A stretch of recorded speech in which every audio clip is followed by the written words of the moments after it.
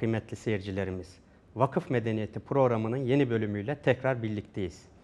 Bugünkü programımızda İhlas Vakfı Başkanı Mahmut Kemal Aydın Bey bize Bezmi Alem Valide Sultan'ı anlatacak. İstanbul'da uzun süredir yaşayanlar, hatta Anadolu'dan bile birçok insan mutlaka Bezmi Alem, Bezmi Alem Vakıf Kureba Hastanesi'ne yolu düşmüştür, bir şekilde tedavi için gelmiştir, bilirler. Sadece Vakıf Kureba Hastanesi değil, İstanbul'da birçok vakıf eseri var Bezmalem, e, Bezmalem Valide Sultan Hazretlerinin. Bugün Mahmut Bey bize onu anlatacak. Efendim hoş geldiniz. Hoş bulduk efendim. Dediğim gibi mutlaka herkesin bir şekilde Vakıf Kureba'ya yolu düşmüştür Vatan Caddesi'nde. Ya kendisi için ya da annesi babası veya bir yakını için mutlaka gitmiştir.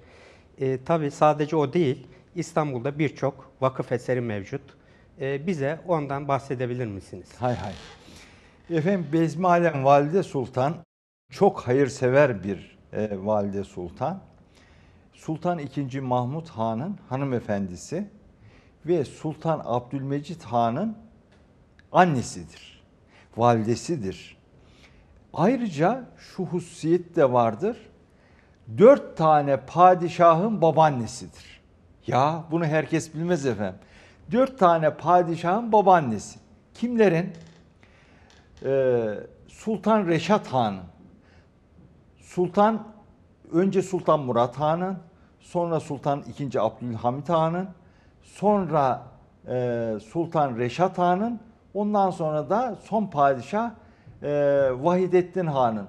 Yani bu dört padişahın babaannesi Bezmi Alem Valide Sultan'dır.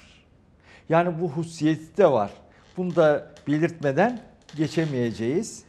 Yani bizim de babaannemiz, bizim de ninemizdir kendisi. Efendim doğum tarihi tam olarak bilinemiyor. Küçükken saraya getirilmiş. Efendim Gürcü asıllı yani Kafkas kökenli Kafkas kavimlerinden Gürcü asıllı bir hanımefendi. Ee, efendim Sultan II. Mahmud'un hanımı oldu. Şehzade Abdülmecit dünyaya gelince efendim o zaman işte kadın efendi oldu.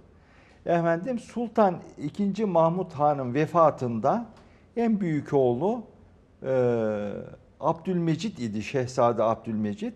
Ama 16 yaşındaydı. Yani yeni delikanlıydı. Sultan Abdülmecit Han padişah olunca valide sultan oldu. E, Mehdi Ulyayı Saltanat ünvanını kazandı. 1839'da Haziran ayının 30'unda valide sultan oldu. Daha çok insanlar efendim kitaplar Bezmi Alem Valide Sultan olarak belirtiyorlar. Ne demek Bezmi Alem? Alemin meclisi, dünyanın meclisi, dünya meclisi manasına geliyor. Efendim, tabi Sultan Abdülmecid çok tecrübesizdi. E, Valide Sultan ise, Bezmi Alem Valide Sultan ise efendim tecrübeli, gün görmüş bir hanımefendi. Oğluna çok yardımcı olmaya çalıştı. Efendim e, bütün işini, gücünü oğlu yetiştikten sonra da çünkü 22 yıl e, saltanat sürmüştür e, Sultan Abdülmecid Han işini gücünü hayır eserlerine efendim e, hasretti. Oralarda harcadı. Efendim 1853 tarihinde de 1853 tarihinde de Beşiktaş'taki sarayda vefat etti. Aynı günde efendim kocası Sultan II. Mahmud Han'ın türbesine defnedildi. Yani Sultan II. Mahmud Han'ın defnedildiği yere zaten ne derler biliyor musunuz? Oraya türbe derler. Mesela orada banka şubeleri vardır. Türbe şubesi diye anılır. Anılır, evet. Oraya efendim türbe semti derler Cağaloğlu'nda. Hemen ana cadde üzerinde. Sultan Abdülaziz Han da orada yatıyor. Sultan II. Abdülhamit Han da orada yatıyor. Evet. O türbenin dışında da yine birçok önemli şahsiyet yatıyor.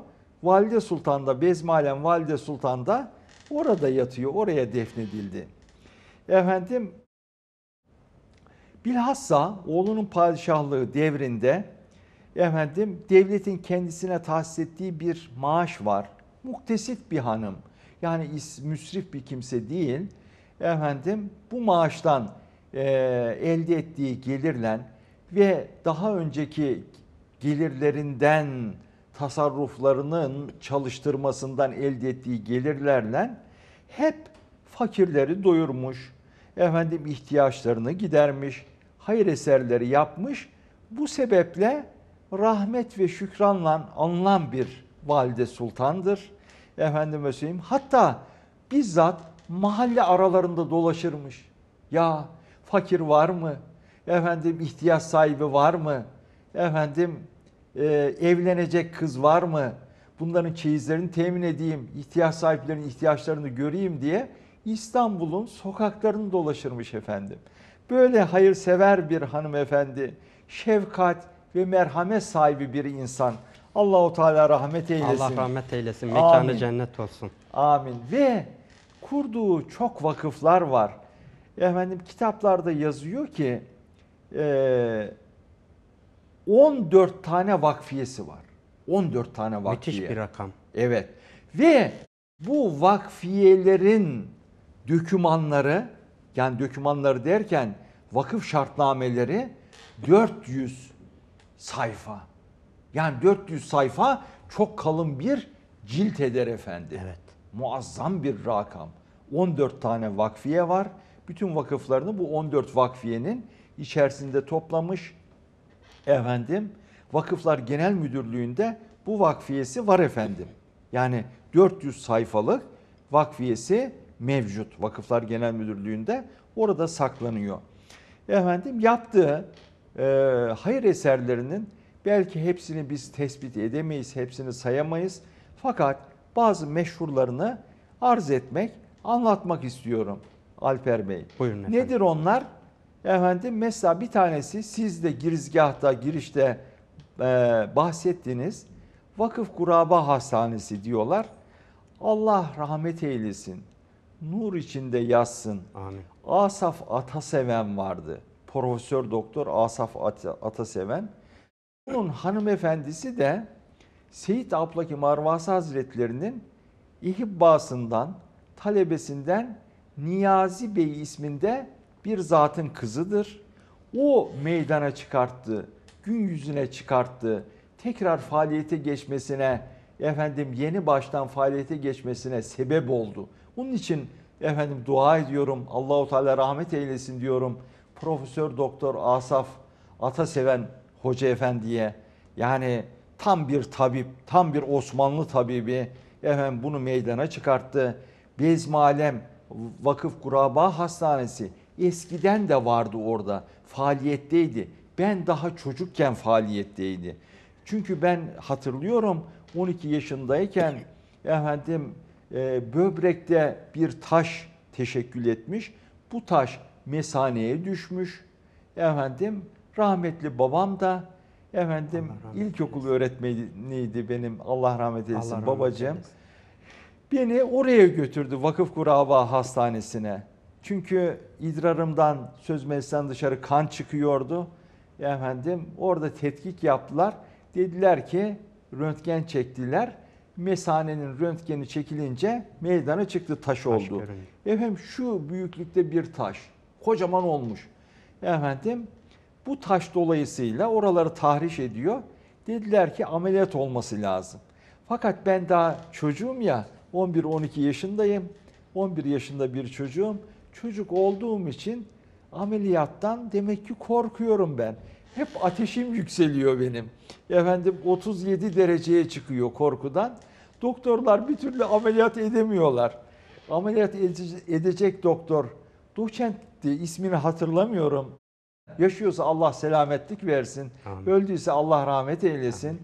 O zat, e, o doktor bana bak dedi, koşup zıplamayacaksın dedi, yaramazlık yapmayacaksın dedi, ateşin yükselmesin dedi filan. Sonra beni ameliyata aldılar. Fakat Allahu Teala'nın hikmeti o günde elektrikler kesildi. Hayda. Gene Biz ameliyat ameliyat olamadı. olamadık yine elektrikler kesildiği için. O devirde kesiliyor. Demek ki Jeneratör jeneratör yok falan yok. tabii. İmkanlar bu şekilde. O eski binada yattım ha. Evet. Koğuş var. Evet. Efendim koğuşta yatıyorum bir sürü hastaların içerisinde. Efendim sonra bir hafta daha beklediler. Efendim ben 30 gün falan yattım o hastanede yani. 15 gün ateşten dolayı e, yapamadılar ameliyat. Ve neticede efendim ameliyat olduk elhamdülillah. Taşı çıkarttılar. Biz de şifaya kavuştuk. Vesile, şifanın vesilesi ameliyatmış demek ki. Sebebi oymuş. Sebebe yapıştık. Sebepten beklemedik. Allahu Teala bize şifayı lütfetti, ihsan etti. Bizzat ben yattım orada. Yani Vakıf Kuraba Hastanesi'nde eski binada yani Bezmalem Valide Sultan'ın yaptırdığı hastanenin hasta koğuşunda yattım efendim.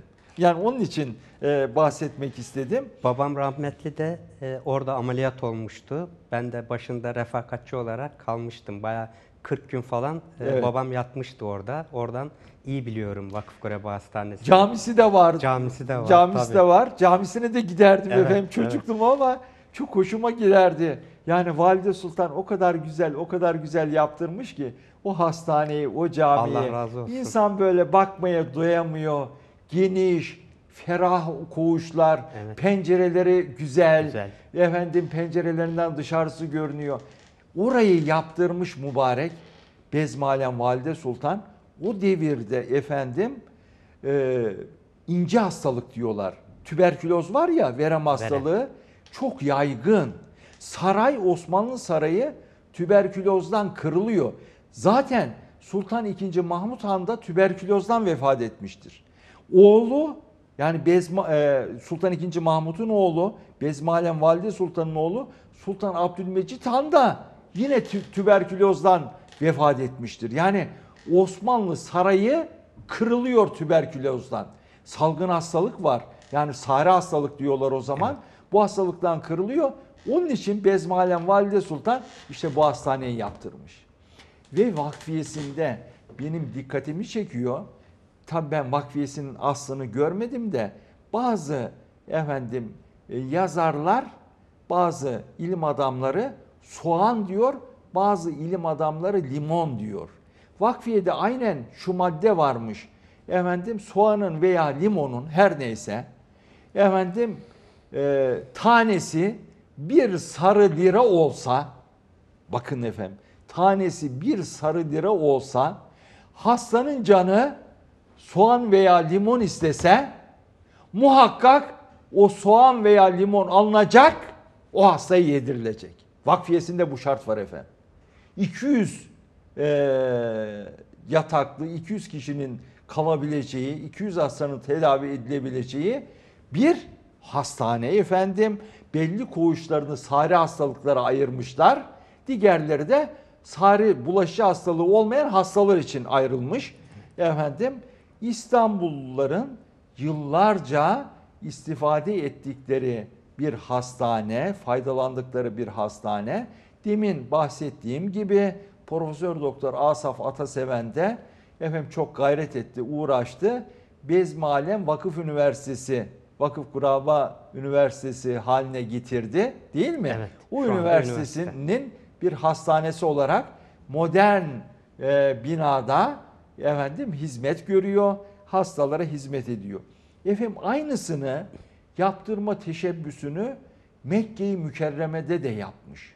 Ya bunlar efendim yani valide sultanlar, padişahlar Mekke-i Mükerreme'ye, Medine-i Münevvere'ye yani Allahu Teala'nın kıymet verdiği beldeler olduğu için ya Mekke-i Mükerreme derler, Medine-i Münevvere derler. Mekke-i Mükerreme demek mükerrem olan belde, Medine-i Münevvere demek nurlu olan belde demek. Mekke-i Mükerreme'de Beytullah vardır. Medine-i Münevvere'de Ravza-i Mutahhara vardır. Resulullah Efendimiz Aleyhisselam Hazretleri vardır. Değil mi efendim? Bu iki beldeye Allah Celle Celaluhu kıymet vermiş. Müslümanlar da çok kıymet veriyorlar. Dolayısıyla padişahlar ve padişahların anneleri de çok ehemmiyet vermiş. İşte Mekke-i Mükerreme'de de aynı şekilde Gurabai Müslim'in hastanesi yaptırmaya teşebbüs etmiş. Ve yaptırmış, belli bir miktar yaptırmış fakat ömrü vefa etmemiş. Ömrü vefa etmemiş. Vefat etmiş torunu, torun dedik ya Sultan II. Abdülhamit Han, babaannesinin bu hayırlı teşebbüsünü tamamlatmış efendim. Yani yarım bırakmamış Mekke-i Mükerreme'ye bunu yapmış. Yaptığı hastanelerden başka mektepler de var efendim. Mesela o türbe dediğimiz yere yakın Cağaloğlu'ndaki İstanbul'da efendim kız lisesiydi. Şimdi Anadolu Kız Lisesi midir tam bilmiyorum şimdi ne olduğunu. Hala ayakta o bina. Anadolu Lisesi herhalde. Efendim. Dürrül Mearif veya Valide Mektebi derler. Hala hizmet veriyor efendim. Orayı da yaptıran Bezmalem Valide Sultan 1850'de açılmış orası. Bir de bu mektep içinde bir de litografya matbaası kurdurmuş. Efendime söyleyeyim. Ee, dolayısıyla çok kıymetli Müslümanların, İstanbul halkının efendim istifade ettiği, faydalandığı bir bina. Ayrıca Beykoz Çubuklu'da da bir Bezmi Alem Valide Mektebi yaptırmış. Efendim İdirne Kapı'da Molla Aşki Mahallesi var. Molla Aşki Mahallesi'nde Bezmi Alem Sıbyan Mektebi yaptırmış. Sıbyan Mektebi çocuklar için yapılan mektebi Sıbyan Mektebi derler. Efendim yine Calon'da Dürül Mearif Mektebi'nin yanında Yeşil Mektep denilen Sıbyan Mektebi'ni yaptırmış. Dürül Mearif yani öteki şimdi kız lisesi olarak kullanılan bina daha yüksek mektep. Efendim o Yeşil Mektep'te Calon'daki Sıbyan Mektebi. Efendim yaptırdığı camiler de var. Mesela efendim Guraba Hastanesi'nde yaptırdığı cami demin bahsettim. Evet. Çok güzel Çok bir güzel cami. bir cami. Huzur dolu insan içinde namaz kılsa. Tavsiye ederim izleyicilerimize içerisinde namaz kılmalarını Alper Bey. Efendim Dolmabahçe Camii. Dolmabahçe ya, Camii'ni yapmaya başlayan, belli bir seviyeye getiren kendi kesesinden yaptırıyor ha. Devletin parası filan yok. Devletin parasıyla yapmıyor. Efendim Dolmabahçe Camii şimdi. Zaten Dolmabahçe Camii'ne de Valide Sultan Camii derler. Oğlu Sultan Abdülmecit Han tamamlıyor o camiyi. Efendim şimdi Boğaz'da fotoğraf çekildiği zaman değil mi efendim? Yani İstanbul'u, Boğaz'ı neyle gösteriyorlar? Bir de şeyle de bütünleşiyor. Ee, Boğaziçi Köprüyle. Köprüsü'yle, şey, 15 Temmuz Şehitler Köprüsü'yle de bütünleşiyor. Kartpostalları süz, İstanbul'un süslüyor. simgesi orası. Evet. İstanbul'un Efendim çok güzel bir cami. Fakat yaptırdığı çeşmeler haddinden fazla. Efendim İstanbul'da tespit edilebilen 12 tane çeşmesi var. Efendime söyleyeyim. e, ayrıca sebilleri de var. Sebillerin ikisini Medine-i Münevvere'de yaptırmış. Bir tanesini de Kerbela'da yaptırmış. Yani Kerbela'da yaptırması efendime söyleyeyim hem Eshab-ı Kirama hem Hülefai Raşidine hem de Peygamber Efendimizin aleyhisselam mübarek torunlarına yani ehli beytine çok hürmet ederlerdi. Hani Kerbela'da susuz şehit Susuz oldu şehit, ya efendime söyleyeyim Hazreti Hüseyin Efendimiz radıyallahu anh Sebil'in bir tanesini de Kerbela'yı yaptırmış. Efendime söyleyeyim üçünü ikisini Medine'ye yaptırmış. Bir tanesini de Kerbela'ya yaptırmış. Beşiktaş Maçka'da Valide Çeşmesi var. Zaten o semte de onun ismini vermişlerdir. Valide Çeşme. Ya semtin adı nedir? Valide Çeşme'dir. Yani bu Bezmalem Valide Sultan'ın yaptırmış olduğu çeşme sebebiyle. Başka? Silivri Kapı'da Lalezar Camii var. Lalezar Camii. O caminin sokağındaymış. Efendime söyleyeyim e, yaptırdığı başka bir çeşme. Sultanahmet'te Üçler Çeşmesi var. Bu Üçler Çeşmesi'ne de Bezmalem Valide Sultan yaptırmış. Neden Üçler Çeşmesi denilmiş? Efendim çünkü üç tane evladını toprağa vermiş. Evlatlarının isimleri şöyle, küçük yaşta ölmüşler. Efendime söyleyeyim, birinin adı Ahmet, birinin adı Mehmet. Bunlar küçük yaşta vefat etmiş. 13 yaşında başka bir oğlu da Abdülhamit'miş ismi. O da 13 yaşında vefat etmiş. Bu üçü vefat etmiş ya. Analar çok sever evlatlarını efendim. Onun için bu üç evladının ruhuna sevabı gitmesi için çeşmenin adını Üçler Çeşmesi koymuş. Öyle yaptırmış bu çeşmeyi. Topkapı'da var. Efendim Bezmalem Çeşmesi yine. Ama şimdi Edirne Kapı'dan gelince Maltepe'ye dönen yolun üzerinde mezarlığın duvarı üstüne nakletmişler o çeşmeyi. Çeşme susuz. Ama orada duruyor yine. Allah razı olsun. Yani yıkıp harap etmemişler. Öyle duruyor. O hastane hani dedik ya Bezmalem Valide Sultan Hastanesi, Guraba Hastanesi. O hastanenin kenarında efendim yine Gurabayı Müslim'in e, hastanesi diyoruz ya ona. O devirdeki adı o. Orada bir çeşme yaptırmış. Efendime söyleyeyim. Suyunu da Şehremini tatlı kuyudan getirmiş. Evet ama şimdi o su kesilmiş. Ee, yani o su akmıyor şimdi. Beşiktaş'ta yine Cihan Numa mahallesinde efendim bir çeşme yaptırmış. Fakat o çeşme bugün yerinde mevcut değil. Tarabya'da, Tarabya semtinde yine Bezmalem çeşmesi yaptırmış. Ali Bey köyünde de yaptırmış. Bunu sevgili eşi padişah Sultan II. Mahmut Han'ın ruhu için yaptırmış. Yani sevabı onun ruhuna gitsin diye. Efendim hep bunlar ne oluyor? Ne oluyor? Sadakayı cariye oluyor. Yani o öldükten sonra da sevabı o bunlardan istifade edildikçe onun ruhuna gidiyor. Amel defteri kesilmiyor. Kapanmıyor. Bunun şuurunda buna vakıf olan bir hanım sultan. Ya efendim Silivri Kapı'da efendim Abdullah Ağa Bezmi Alem Çeşmesi efendim Bala Tekkesi diye bir tekke var. Orada hatta sancak falan vardır efendim. Oraya hiç gittiniz mi bilmiyorum. İzleyicilerimize de gitmelerini tavsiye ederim. O Bala Tek- Tekkesi denilen tekke civarında e, yani o tekkenin sokağı ile Yahane sokağı vardı Silivri Kapı'da. Bunların kesiştiği noktada efendim bir çeşme yaptırmış.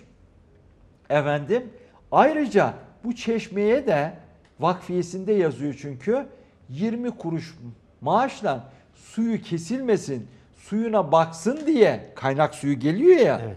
Efendim bir su yolcu tayin etmiş. Yani 20 kuruş maaşla o devrin parası tabii efendim su yolcu tayin etmiş. Kasımpaşa'da var çeşmesi. Efendim Hacı Hüsrev Mahallesi'nde, meşhur Hacı Hüsrev Mahallesi'nde. Efendim e, Topkapı'da e, Fatih Sultan Mehmet Han'ın yaptırdığı çukur çeşme battal olmuş, kesilmiş. Bu çeşmeyi efendime söyleyeyim tamir ettirmiş. 1851 yılında yeniden açtırmış. Demin dedik sebiller yaptırmış. İki tane sebili Medine-i Münevvere'de diye. Bir tanesi efendime söyleyeyim e, hani Uhud şehitliği vardır. E, gittiyseniz Ömre'ye gittiyseniz gitmişsinizdir. Hazreti Hamza radıyallahu anh hazretlerinin e, ve efendim Uhud şehitlerinin bulunduğu bir e, makam yer vardır. Oraya giderken yol üstünde bir sebil yaptırmış. Efendim ziyaretçiler, hacı efendiler, ziyarete gelenler efendim içsinler, istifade etsinler diye.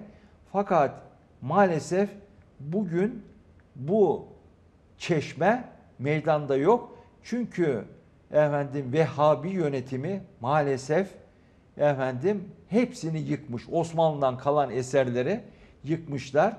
Yine Medine'de efendim e, o Sebil'in yakınında Şam kapısının dışında Medine'nin e, çevresinde eskiden surlar vardı. Şam kapısına açı surun Şam kapısına açılan kısmının dışında e, Sebil bahçesi denilen bostan civarında efendime söyleyeyim e, yine bir efendim çeşme yaptırmış. Bunu da Vehhabiler yıkmışlar.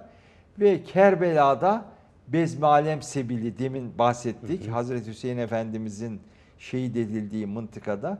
Şu an var mı yok mu bunu bilemiyoruz. Ayrıca mesela Terkos Gölü bunun mülkiymiş efendim. Ya Terkos Meşhur Gölü. İstanbul'a Evet. su sağlayan. Terkos Gölü ve civarındaki tarlalar mülküymüş. Yüzlerce dönüm, binlerce dönüm tarla, arazi, çiftlikleri, köyleri, dükkanları, hanları, değirmenleri, evler, zengin gelirli ev, e, emlak hep bunları bu vakıf eserlerine vakfetmiş. Yani bu vakıf eserleri yaşasın diye bütün gelirlerini ne yapmış? Feda etmiş efendim. Feda etmiş. Yani miras da bırakmamış. Tabii. Efendim vakıf. Efendim e, yani Bezmalem Va, e, Valide Sultan hani Bezmalem Vakıf Üniversitesi var ya Evet. bunun şeyleriyle işte bu vakıf şeyleriyle ilave edilerek kuruldu bugün hizmet veriyor. Yani bu- bunun vakıflarından elde edilen gelirlerle Gelirler. yağmalananlar hariç. Ya Bugüne Evet. gelen Evet. kalabilenlerle. Evet. Ayrıca efendim eee Bezmalem Valide Sultan Kabe-i Muazzama yani Beytullah, Ravza-i Mutahhara yani Resulullah Efendimizin aleyhisselam mübarek efendim türbesi. Eyüp Sultan buralarda eee cüzhanlık, farraşlık, bevvaplık, efendim yapacak insanlara yani sen burada cüzhanlık yap, sen burada farraşlık yap. Ferraşlık ne demek? Süpürgecilik, temizlikçilik yani yap diye maaşla vakıf vakıf yapıp maaş onlara maaş verdirmiş. Ya yani bu kadar hürmet ediyor efendimize. Evet. Bu kadar me- me- hürmet ediyor Eyüp Sultan Hazretlerine. Böyle bir hanımefendi. Efendim mühründe ne yazarmış biliyor musunuz? Yani Aleyhisselatü Vesselam Hazretlerine Efendimiz'e olan muhabbeti, efendim sevgisi, bağlılığı, merbuiyeti buradan belli efendim. İmza diye bunu basarmış. Alper Bey imza diye. Ne biliyor musunuz? Muhabbetten Muhammed oldu hasıl. Muhabbetsiz Muhammed'den ne hasıl? Özür dilerim. Muhammedsiz muhabbetten ne hasıl? Zuhurundan bezmi alem oldu vasıl. Tekrar ediyorum. Muhabbetten Muhammed oldu hasıl. Muhammedsiz muhabbetten ne hasıl? Zuhurundan bezmi alem oldu vasıl. Ya Çok muhabbetten Muhammed oldu hasıl. Ne demek? Allahu Teala muhabbetten yarattı. Kimi? Peygamber Efendimiz. Fahri alem sallallahu teala aleyhi ve sellem hazretlerini. Evet. Ya efendim. Tabii oğlu kim? Abdülmecit Han. Değil mi efendim? Evet, oğlu Abdülmecit Han. 16 yaşında padişah oldu. Biraz da bundan bahsetmemiz lazım oğlundan, Abdülmecit Han'dan. Efendim hatırı kalmasın.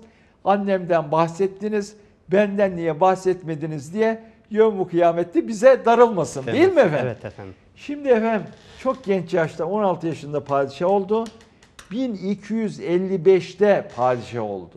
Efendim Osmanlılarda adettir. Böyle önemli vakalarda tarih düşürmek derler. Tarih düşürmek. Yani bir mısrada, bir beyitte, bir şiirde, bir mısrada, bir mısrada geçen harfleri toplarsınız. Çünkü her harfin ebced hesabında bir değeri vardır.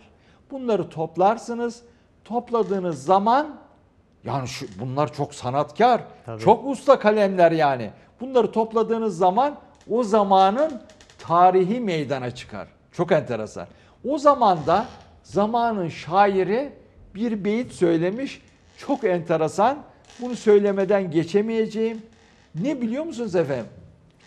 Şunu da göstereyim. Bakın Alper Bey. Bir, iki, Bakın iki de efendim. delik.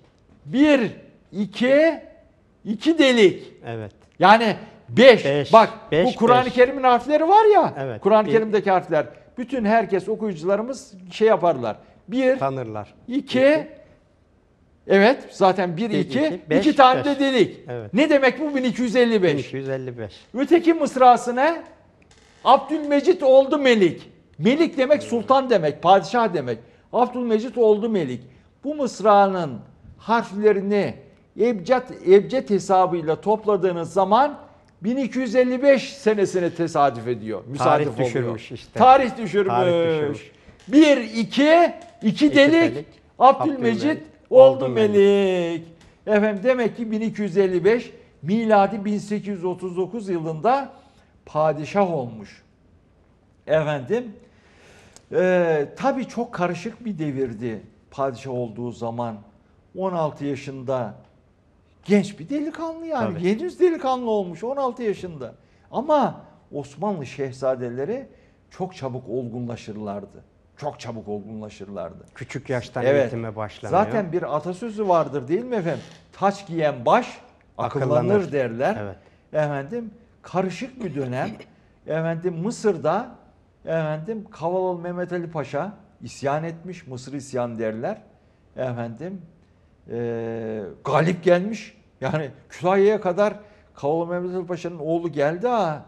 Efendim fakat Fransızlar teşvik ediyorlar işte git padişahlığı ele geçir bilmem ne filan diye.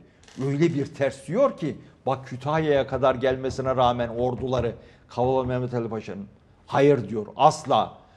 Bizim diyor gayemiz benim oğlum İbrahim Paşa'nın gayesi padişahlığı ele geçirmek. Böyle bir gayemiz asla yoktur. Eğer böyle bir gayemiz olsa bütün ehli İslam bizden yüz çevirir diyor. Benim oğlumun tek gayesi vardır. Gayesi de şudur. İstanbul'a girmeye muvaffak olabilirse Padişah Efendimizin ayaklarına kapanmak, Padişah Efendimiz'den af dilemek ve duasını almaktır diyor. Halife-i Ruhi Zemin'in duasını almaktır diyor. Kavalalı Mehmet Ali Paşa öyle tarihçilerin yazdığı gibi çok kötü bir insan değil. Evet isyan etmiştir, nefistir, efendim siyasi sebepler vardır, şudur budur ama maksadı şey değil yani Osmanlı Devleti'ni filan yıkmak değil. Nefsinden mütevellit. Ve Sultan II. Mahmut Han çok vazifeler vermiştir. Başka bir zaman anlatırız. Efendime söyleyeyim. Nedir o vazife? Vehhabiler isyan etmişlerdir. Mekke-i Mükerreme'yi Suudlar efendim Mekke-i Mükerreme'yi, Medine-i Münevvere'yi ele geçirmişlerdir. Oradaki efendim mübarek sahabelerin kabirlerini yok etmişlerdir. Yıkmışlardır. Yıkmışlardır. Mesela efendime söyleyeyim eskiden kalma resimler vardır. Bütün bu yıkılan yerlerin hepsini Sultan II. Abdülmecit Han ve torunu Sultan Abdülhamit Han A'dan Z'ye tamir ettirmiştir efendim. Ve Han bunların aslına uygun olarak tamir ettirmiş, restore ettirmiş ve aslına uygun olarak e, tamir ettirdikten sonra hepsini Yıldız albümü diye bir albüm vardır. O albüme fotoğraflarını çektirerek toplattırmıştır. Oradan görüyoruz o resimleri. Mesela Mekke-i Mükerreme'de Cenneti Mualla kabristanı vardır. Cenneti Mualla derler. Efendim Medine-i Mü- Münevvere'de ise Cennetül Baki kabristanı vardır. Değil mi? Evet, Cennetül Mesela Baki. Mekke-i Mükerreme'de Hazreti Hatice annemiz orada metfun. Ya Hazreti Hatice annemiz. Efendim Eshab-ı Kiram'dan, Eshab-ı Kiram'ın büyüklerinden Zübeyir bin Avvam'ın oğlu Abdullah İbni Zübeyir'in kabri orada. Efendim fotoğrafları var. Üzerlerinde türbeleri var. Ben Ömre'ye gittiğim zaman aradım taradım. Efendim Hazreti Hatice annemizin kabrinin olduğu yeri zor buldum. Tam bir buçuk saat aradım o kabristanda Cennetül Mualla'da. Nasıl olduysa girmişim. Yani nasıl olduysa oradaki polisler molisler bana mani olmamışlar. Efendim girdiğim zaman Alfer Bey o yeri bulduğum zaman sanki anneme sarılıyorum. Annemin kucağına gelmişim diye. Yani Resulullah Efendimizin hanımefendisi bizim de annemiz ya. Annemiz. Yani öyle hislendim, öyle hislendim ki böyle ağladım orada. Yani o kadar efendim hoşuma gitti. Huzur buldum. Hazreti Hatice annemizin efendim o kucağında, annemin kucağı gibi hissettim kendimi. Yani dolayısıyla şunu demek istiyorum. Bunların hepsini yıkmış Vehhabiler. Efendim Medine-i Münevvere'de Cennetül Baki kabristanında Hazreti Hasan Efendimizin üzerinde küçük, şık, güzel türbe. Efendim Hazreti Hasan Efendimiz Medine-i Münevvere'de yatıyor. Evet. 12 imamdan olan zatların efendim e, kabirlerin üzerinde aynı şekilde efendim tür şeyler var, türbeler var. Diğer eshab-ı kiram efendilerimizin efendime söyleyeyim e, yattığı kabirlerin üzerinde türbeler. Bunların hepsini yıkmışlar. Zaten şimdi hiçbirisi yok. Bunları görmek isteyen efendim internetten görebilir, bakabilir. Sultan Ablamıtan cennet mekan diyelim. Cennet Allah mekan. razı olsun Allah ondan. razı olsun. Bunların hepsinin fotoğrafını çektirmiş. İşte bu Vehhabi isyanını kim bastırmış? Kavalalı Mehmet Ali Paşa bastırmış. Çok büyük hizmet etmiş.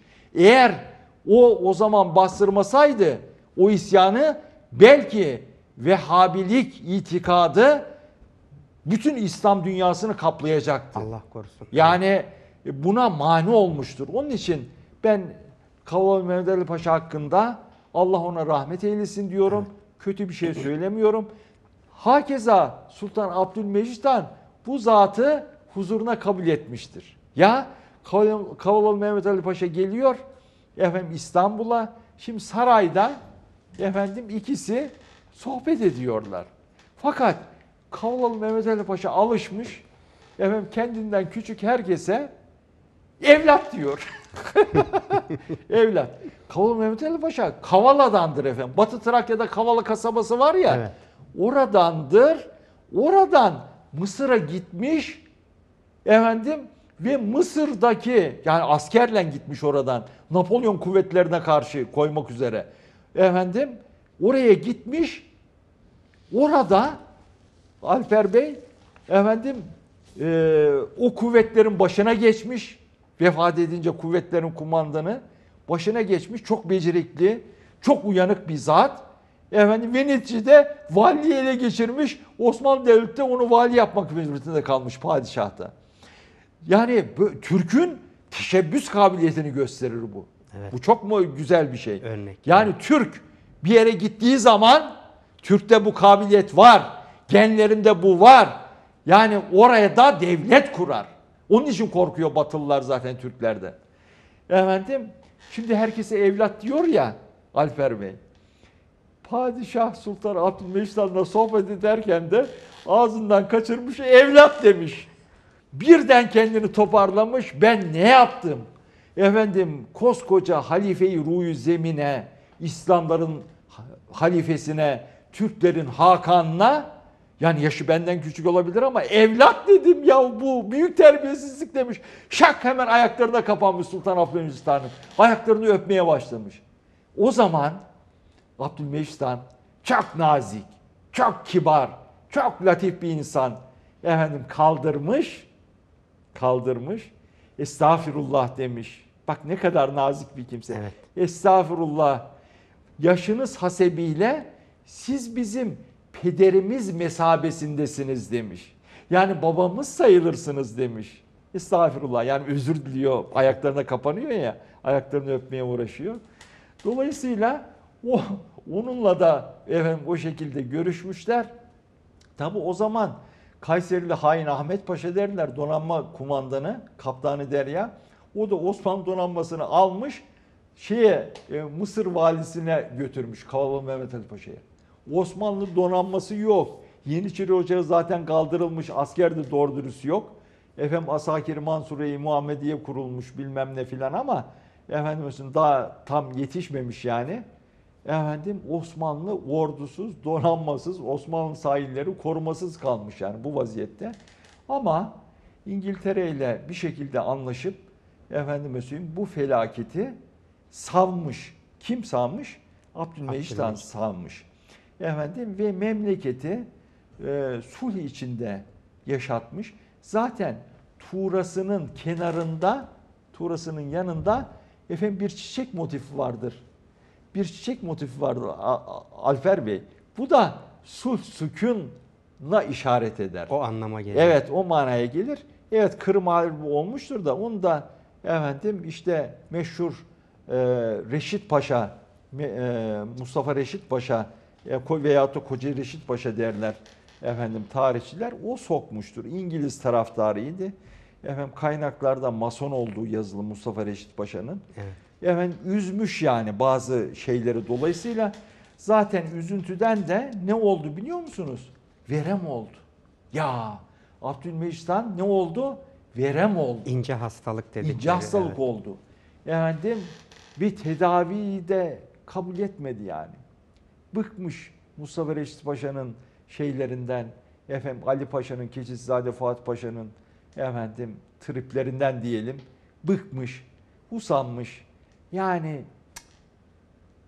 hatta efendim artık son zamanlarında devamlı yatağında yatarmış Alper Bey. Yani oturamazmış bile ağrısından, sızısından ince hastalık var ya. e, gelirlermiş e, görevliler. Efendim sağdan soldan bir şeyler geldiği zaman onu okurlarmış. Efendim yattığı yerden şöyle yapılsın, böyle yapılsın diye talimat verilmiş Abdülmecit Han'da. Efendim bir gün gelmişler demişler ki efendim Medine-i Münevvere ahalisinden size arıza var. Size efendim mektup var deyince okumaya başlamışlar. Durun okumayın demiş. Bakın İslamiyet'e ne kadar bağlı. Efendimiz Aleyhisselatü Vesselam Hazretleri'ne ne kadar büyük muhabbeti var. Bunu göstermesi bakımından bunu anlatıyorum. Evet. Yani izleyicilerimiz dua etsinler Abdülmecit Han'a diye anlatıyorum. Efendim ben, durun demiş beni kaldır. Efendim işte rahatsızsınız. Kalkınca, e, oturunca duramıyorsunuz. Öksürük geliyor filan demiş yanındaki görevliler. Yok demiş beni kaldırın. Kaldırın. Onlar Resul-i Ekrem sallallahu aleyhi ve sellem hazretlerinin Efendimizin komşularıdır. Ben oradan onlardan gelen mektubu yatarak dinlemekten haya ederim demiş mübarek. ne saygı ama değil mi? Evet. Ve arkasına yastık koymuşlar. O vaziyette okumuşlar Medine-i Münevver ahalisinden gelen mektubu dinlemiş. Efendim oradaki taleplerinin mektupta bahsedilen taleplerinin tamamını yerine getirin diye emir vermiş. Talimat vermiş, irade etmiş. Böyle bir padişah. Efendim kendisi Arapça da bilirdi, Farsça da bilirdi, Arabi, Farisi ve Fransızca. Ana dili gibi Fransızca bilirdi. Böyle bir padişah. Efendim hattattı. Eserleri var bugün. Yazdığı Hüsnü Hatlan Evet. yazdığı eserleri bugün mevcut. Efendime söyleyeyim. Mesela şeyleri e, muhacirleri, göçmenleri, Kırım muhacirlerinde filan şeyi yerleştirmiş. Bugün Mecidiyeköy deniyor ya. Mecidiyeköy denilmesi işte Abdülmüstan'dan dolayı. Evet. Onun için Mecidiyeköy. Yani adını vermiş. Onun adını vermiş. Evet. E, onunla, oraya yerleştirmiş. Yaptığı çok hayırlı işler var efendim. Kağıt para bunun zamanında çıktı. Mecidiye denen gümüş para hala vardır. Sarraflarda falan bulunabilir. Evet. Efendim sahaflarda da satanlar var sahafların çevresinde. Efendim o e, izleyicilerimiz oralardan Mecidiye'yi temin edebilirler. Mecidiye gümüşten para. Gümüşten. Çok süslüdür. Çok güzeldir. Keşke getirseydim de gösterseydim Evet, okuyucular, e, izleyicilerimize. Çok güzel bir para. Gümüşten bir para onu bastırmış. Mecdiye enfes bir baskı ama. Onu görmelerini teberrüken birer tane almalarını imkanı olanlara tavsiye ederim efendim. Efendim yaptırdığı camiler Büyük Mecidiye Camii var. Küçük Mecidiye Camii var. Annesinin efendim Nişantaşı'nda efendim Maçka ile Nişantaşı arasında te- Teşvikiye Camii var. Efendime söyleyeyim. Ve e, denizaltı telgraf hattı onun zamanında yapılmış. Efendime söyleyeyim annesinin yaptıkları var. Efendim Dolmabahçe Sarayı'nı o yaptırdı efendim. Evet. Efendim müsrif diyorlar filan. Bu gözden bakmayın efendim. Yani inşaat sektörü bugün ekonominin lokomotifidir. Can damarı. Neden? Çünkü inşaat sektörü yüzlerce kalemi ihtiva ediyor. Efendim Dolmabahçe Sarayı İstanbul'da yapıldı. E, 5 milyon altın liraya mal oldu. Fakat bu yapılırken Dolmabahçe Camii yapılırken efendim İstanbul'dan o zaman makinalaşma bu kadar yok.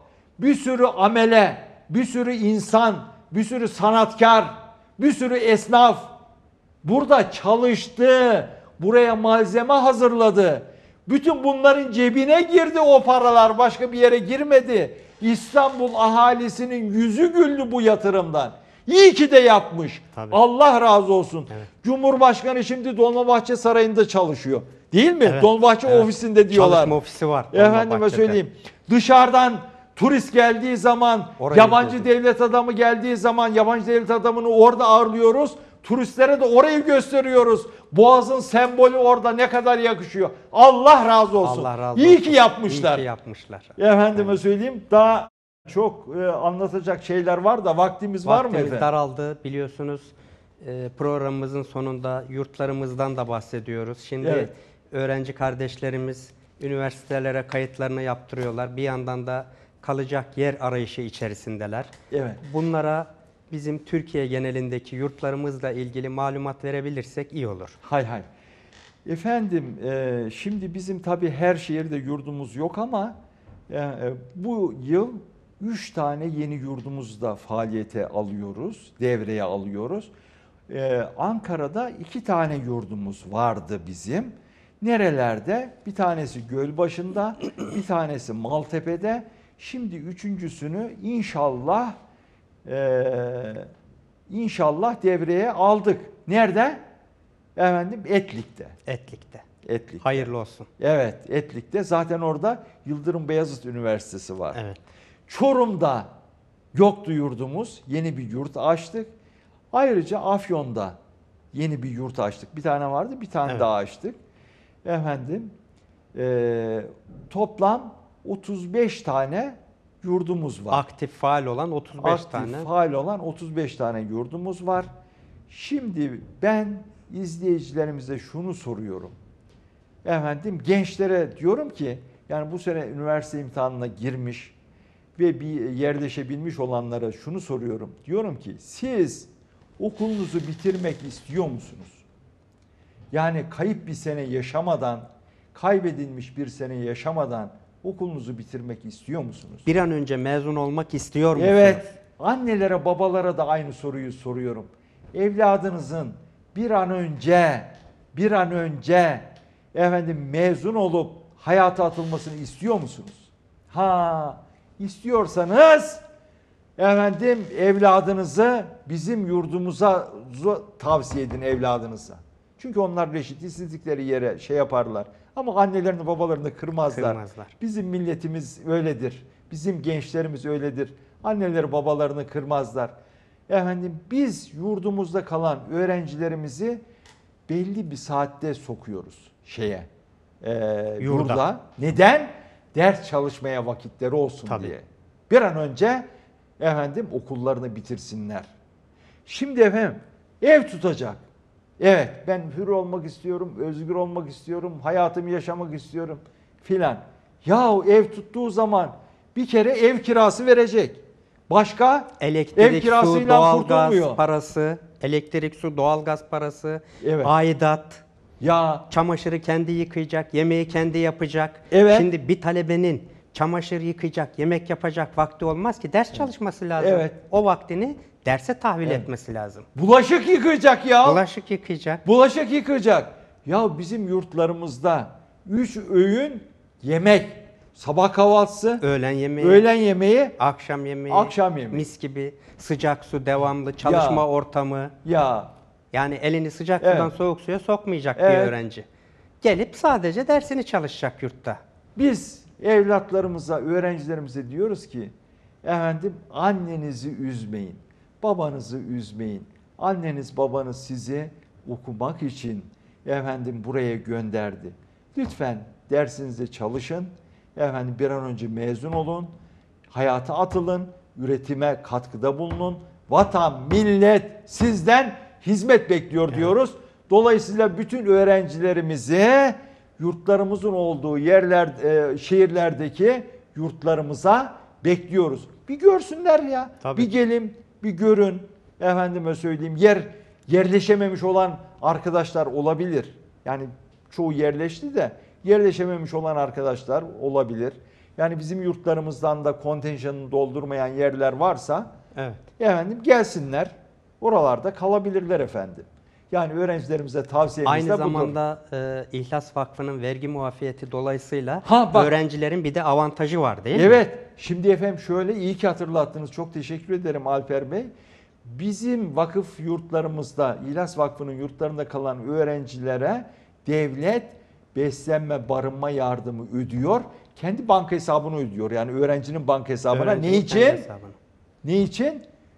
Bizim vakfımız, İhlas Vakfı vergi muafiyet hakkına sahip olduğu Sahip için. olduğu için. Evet. E bu da bu avantaj Bu da da var. avantaj. Dolayısıyla bekliyoruz efendim öğrencilerimizi. Çok teşekkür ederiz. Estağfurullah. İnşallah öğrenci kardeşlerimiz bu imkanı değerlendirirler. İnşallah. Kıymetli seyircilerimiz, bugün de programımızın sonuna geldik. Tekrar haftaya görüşmek üzere, hoşçakalın.